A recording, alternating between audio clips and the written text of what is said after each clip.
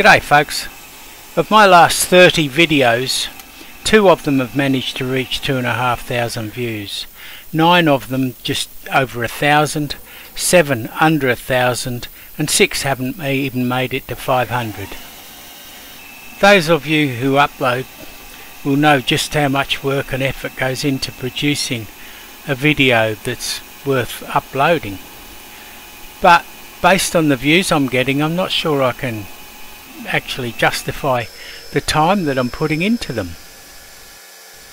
And I want to mention that this is not about the money that I get from the ads that are on my channel. Um, that stays much the same. I have some uh, videos up there that are doing really well.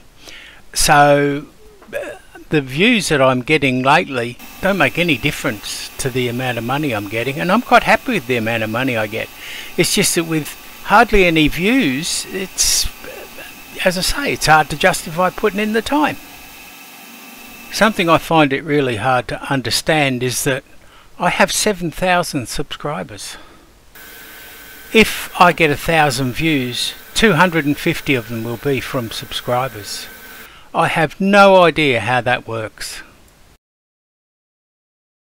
My videos are not just made with a phone, this is a typical lighting camera setup that I use to make a video. So for me there's a bit of camera and light work involved in making a video. And then of course there's narration, which I don't find real easy. And in a video that is about three minutes long, because I only record narration in separate sentences, I can have up to 25 separate clips.